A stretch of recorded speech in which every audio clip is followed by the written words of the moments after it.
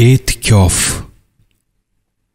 Arabcha e'tikof so'zi lozim tutish, turib qolish ma'nolarini bildiradi.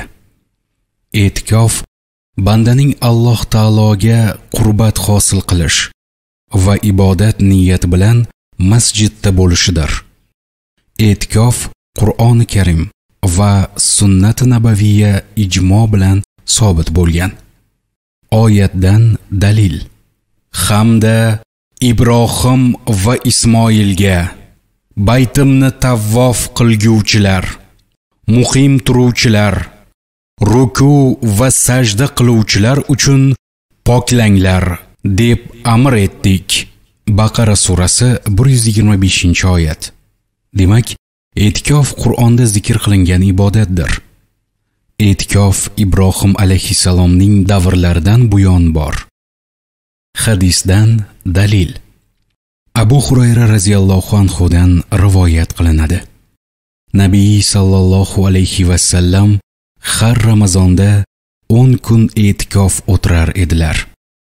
Vafot etgan yillari 20 kun e'tikof o'tirdilar. Buxoriy va Abu Dovud rivoyat qilishgan. E'tikof o'tirishni nazr qilgan erkak kishiga e'tikof vojib bo'ladi. Ramazon oyining oxirgi 10 kunida e'tikof kifoya, ya'ni ba'zi musulmonlarning bajarishi bilan boshqalardan soqit bo'ladigan. Ta'kidlangan sunnat boshqa vaqtlarda mustahabdir. Mustahab e'tikof uchun roza shart emas. Alloh taolo baytimni tavvof qilguvchilar, ibodatda qoyim turuvchilar hamda ruku, sujud qiluvchilar uchun poklagin degan. Haj surasi 26-oyat. Muxtasari viqoyada e'tikof haqida shunday deyiladi. E'tikofning ozi bir kundir. Kim e'tikofni buzsa, qazosini bajaradi. E'tikof o'tirgan odam masjiddan inson hojatlaridan boshqa narsa uchun chiqmaydi. Jumaga zavoldan keyin boradi. Kimning uyi uzoq bo'lsa, sunnatlarni o'qib, jumaga bemalol ulguradigan vaqtni chamalab boradi. Jome masjidda mazkur muddatdan ko'proq turib qolsa ham e'tikofi buzilmaydi. Agar uzursiz ma'lum vaqtga chiqsa, e'tikofi buziladi.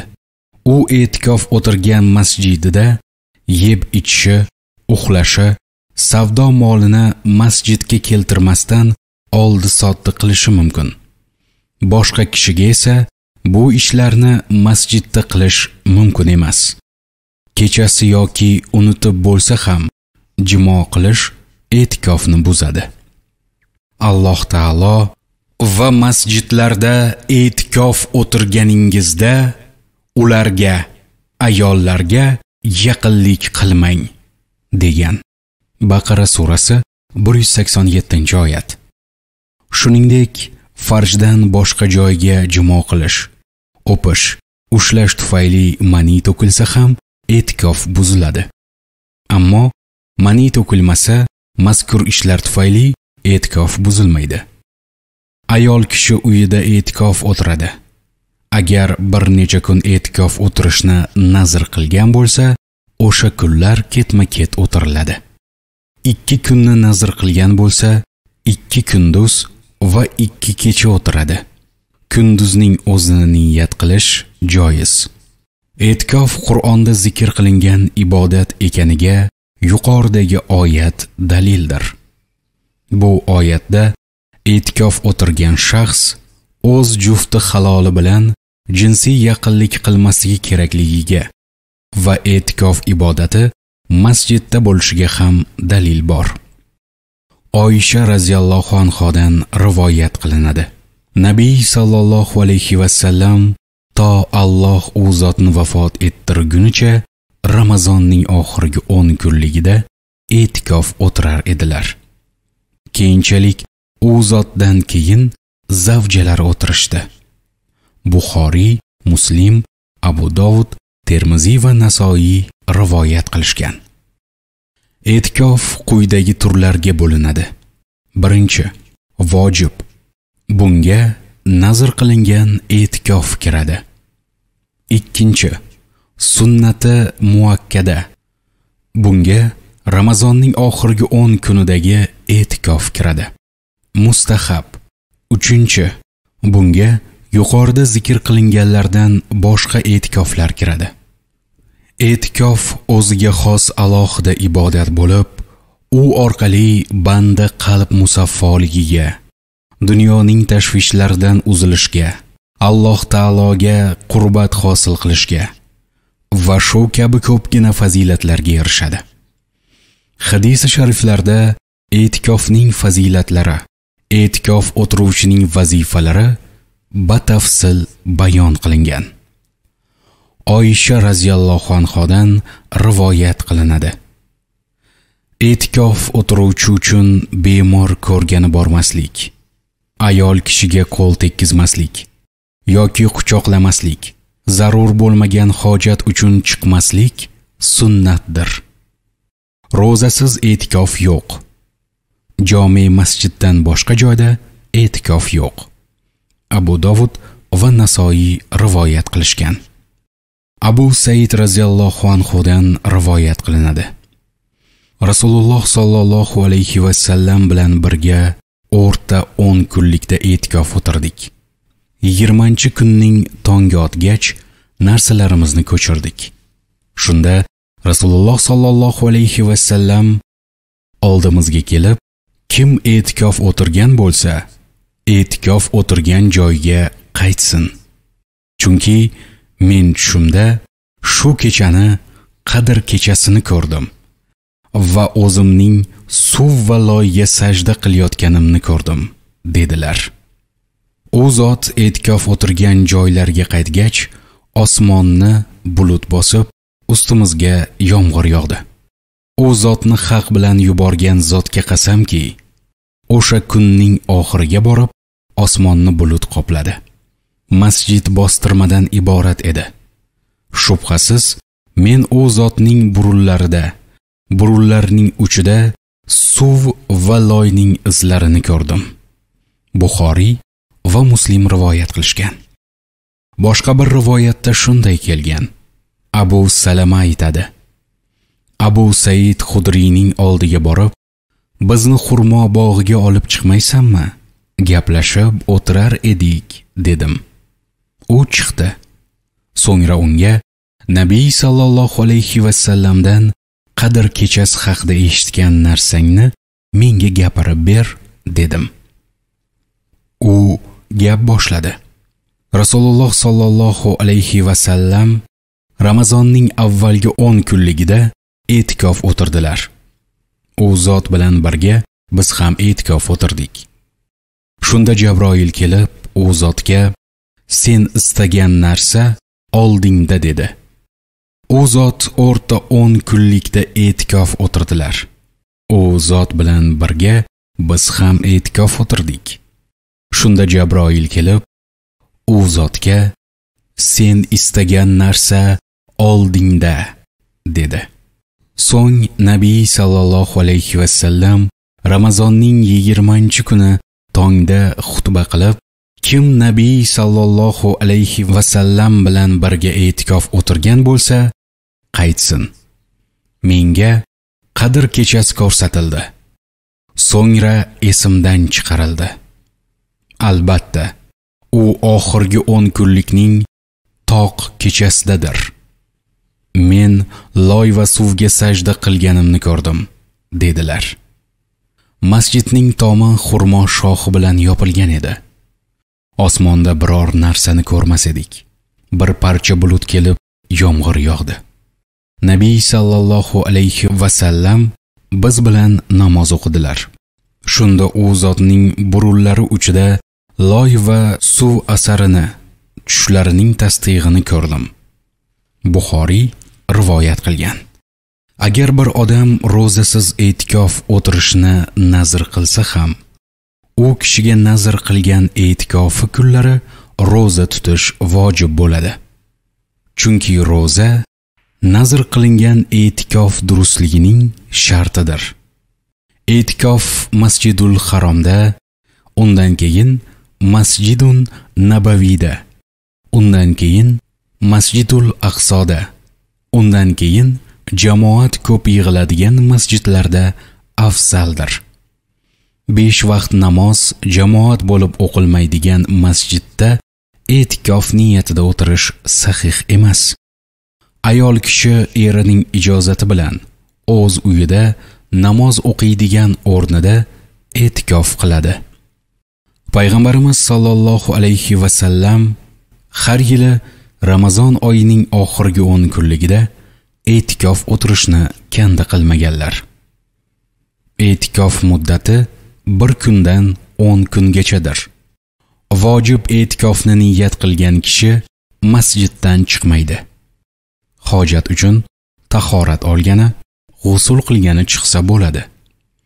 E'tikof o'tiruvchi tozalikka rioya qilgan holda yeb ichishi ozgina uxlashi kiyim o'zgartirishi o'zining yoxud oilasining ro'zg'orini tebratish uchun ehtiyojga zarur narsalarnigina masjiddan chiqmay savdo qilishi joiz.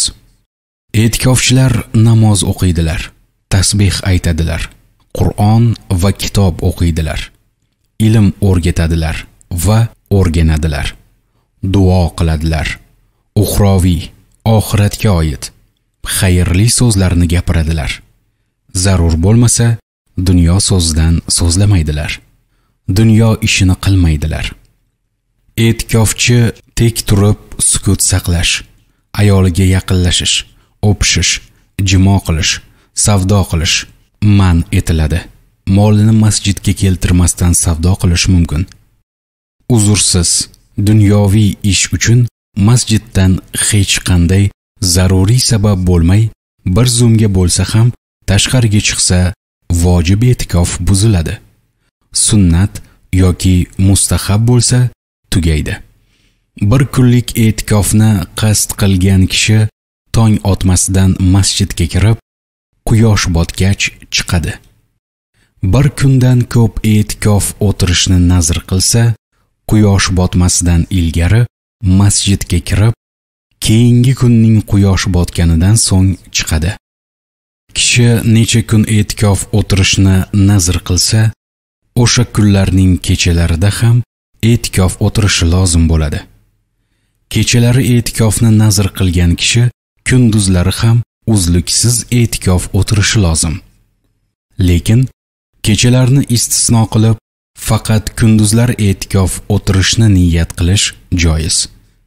Agar kishi bir oy e'tikofni nazr qilib qalbida niyat qilsa tili bilan aytmaguncha nazr hisoblanmaydi. E'tikofga oid savol javoblar savol. E'tikof qanday amal hisoblanadi? Javob. Ramazon oyining oxirgi 10 kunligida har bir masjid ahliga e'tikof o'tirish sunnati muakkadadir ta'kidlangan sunnatdir e'tikofning misoli jamoat bilan taroveh namoziga qoyim bo'lishdir. Agar kimdir unga qatnashsa boshqalardan mas'uliyati soqit bo'ladi. Savol. Nafl e'tikofning eng oz miqdori qancha? Javob.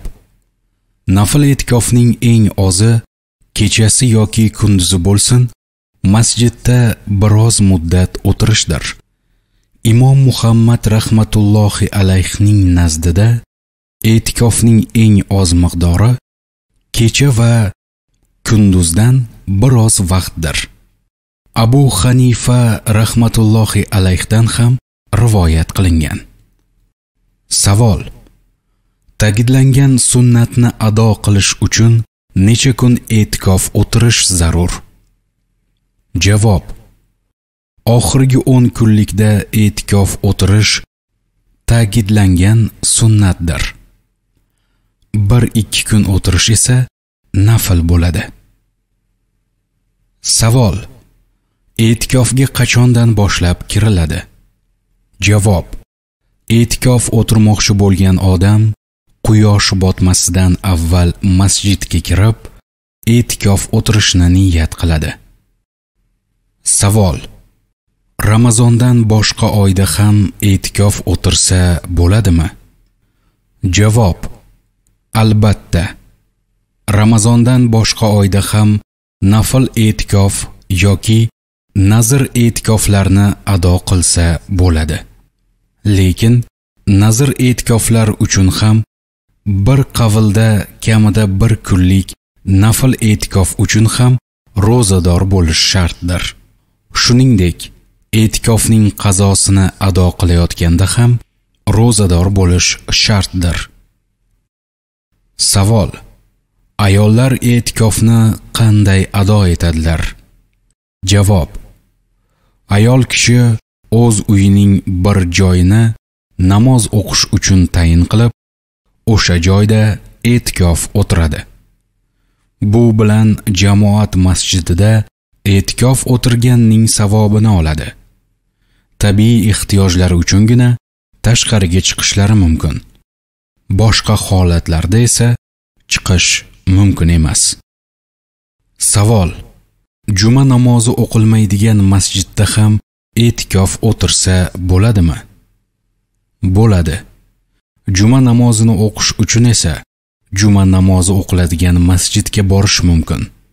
E'tikof o'tiruvchi juma namozini o'qish uchun bormoqchi bo'lgan masjidiga quyosh tikkadan oqqandan so'ng yo'lga chiqadigan bo'lsa xutba va juma namoziga kech qolmaydigan darajada yaqin bo'lsa quyosh tikkadan oqqandan so'ng yo'lga chiqadi.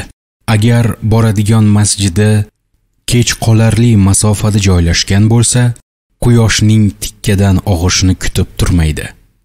Lekin ikkinchi azondan oldin to'rt rakat sunnatni o'qiy oladigan miqdordagi vaqtni mo'ljallab yo'lga chiqishi kerak. Farzdan keyingi sunnatni to'rt rakat deganlarning fikriga ko'ra to'rt yoki farzdan keyingi sunnatni olti rakat deganlarning fikriga ko'ra olti rakat namoz o'qish miqdoricha qolishi mumkin. Savol. E'tikof o'tiruvchi qaysi holatlarda masjiddan chiqishi mumkin? Javob.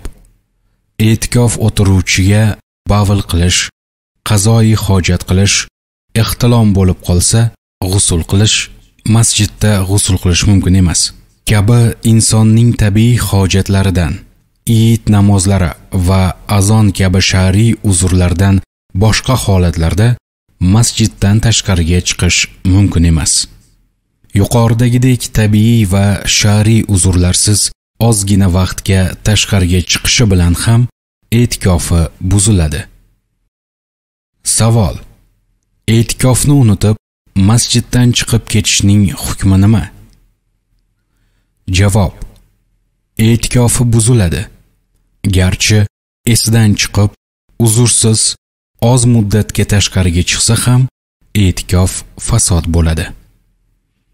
Savol. E'tikof o'tiruvchi saqlanish maqsadida g'usul uchun masjiddan tashqariga chiqsa bo'ladimi? Javob. Joiz emas. Lekin namoz uchun tahoratga chiqqan paytda g'usul qilib olsa bo'ladi. Savol. Buzilgan e'tikofning qazosi vojibmi? Javob. Vojib e'tikofni buzib qo'ysa ro'zador bo'lgan holda uning qazosi ham vojibdir. Qazosini ramazon oyidan boshqa oylarda ado qiladi.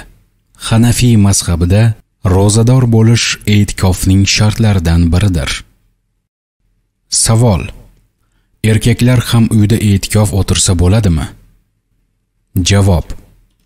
E'tikofning shartlaridan biri uning azon va iqoma aytilib namoz o'qiladigan jamoat masjidida bo'lishidir.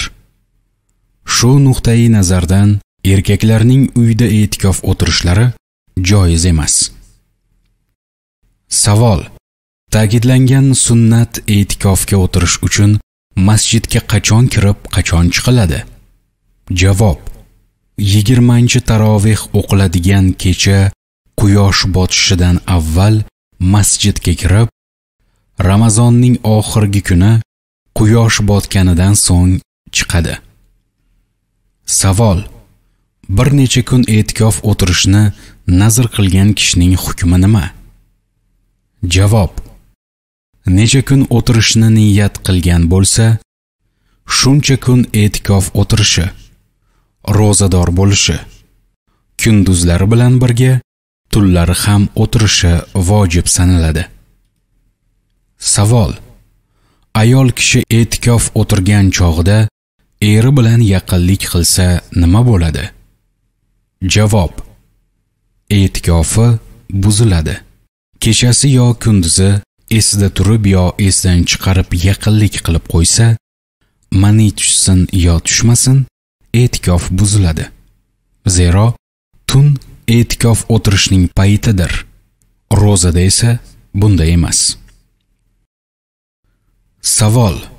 E'tikof o'tiruvchi qornidan bo'lgani tufayli masjidda yel chiqarishi mumkinmi?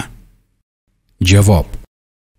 Masjidning ichida yel chiqarish tahrimiy makruhdir.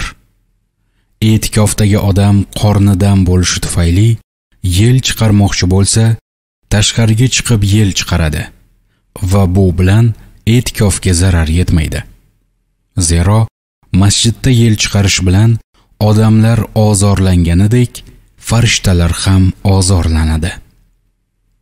Savol. Ayol kishi oxirgi 10 kunning e'tikofdaligida hayz qonini ko'rsa nima qiladi? Javob e'tikofdan chiqadi. Keyinchalik ro'zador holatda bir kun e'tikofning qazosini o'taydi. Qolgan kunlarning ham e'tikofini o'tirsa afzaldir. E'tikof holatda hayz ko'rgan ayolning e'tikofi buziladi. Savol sunnat bo'lgan e'tikofda o'tirgan kishi juma namozi yoki saqlanish maqsadida g'usul qilish uchun masjidning g'usulxonasiga chiqishi joizmi? Javob xonaqohda bo'lmay masjid hududida joylashgan g'usulxonaga juma namozi yoki salqinlanish uchun g'usul qilishga chiqish joiz emas.